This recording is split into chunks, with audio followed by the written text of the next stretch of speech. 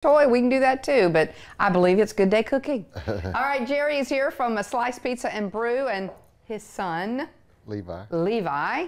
Good morning, Levi. Good morning. Good morning. All right, so this is called the White Shadow. and there's so there is absolutely. I mean, you think of pizza a lot, you think of red sauce. Yeah. This has no red sauce whatsoever No red sauce and no meat. And no meat, so it's just mushrooms. So you know how people use mushrooms as a meat, substitute. So this is kind of what it is. We use fresh, uh, local portobello mushrooms, and uh, they're they're really kind of meaty. They're fantastic. So you kind of have to, the pre- preparation is cooking down the mushrooms, cooking down the onions, caramelizing them. We grill we grill mushrooms and okay. slice them, and we caramelize the onions. That's right. All right. So you get all that fixed and let's build it. Okay. All right. We use olive oil to start with. Mm-hmm. Okay. I got me a little. Again, because there's Brush. no sauce. Yep. No red sauce. Just olive oil. All right. Yep. and So not even any white sauce. No. So just no sauce That's at all. that's the base, and then we use garlic. okay. Now, how would you do your garlic at home? Does it? I mean, could you use Roast it. garlic, or we, you you do can it you can use, you can use you can use a jar if, if that's what you have, but we we like to roast garlic. okay. Okay, and then caramelize onions. We kind of sprinkle that around on there. Now, when you do caramelized onions, I know I, most of y'all probably tried them at home.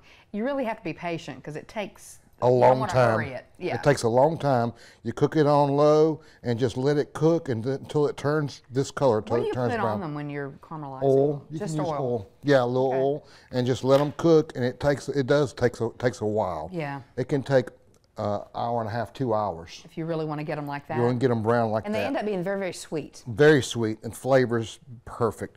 Okay. And you know, so we use whole garlic as Okay. well. All okay, right. and then and then we put the mushrooms on. All right. All right. Like I say, these are grilled. Uh, So you would want to grill them. You don't want to saute them.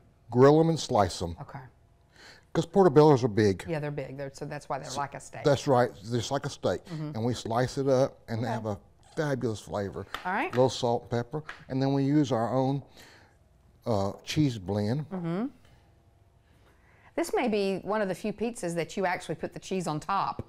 Usually you're putting the cheese on the bottom and then building the meat around. That's right. That's we we we we don't uh, we don't do that. Now we do it uh, with the uh, uh, cheese pizza, of course. Sure. Uh, it's cheese. It's cheese. That's it. Ain't nothing but cheese. All right. All right, and then we use feta. Feta makes it better.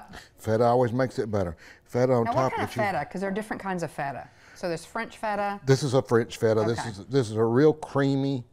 Uh,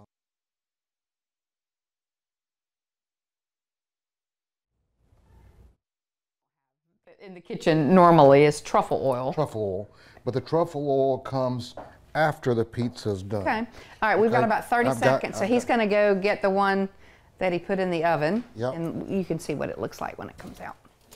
So here it comes.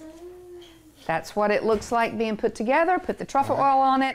And there There's your it pizza right is. here. It is uh, ready to go. Yeah. All right, we'll cut that up. All right, Jerry, cut that up and we will take a break and we'll be right back. Right.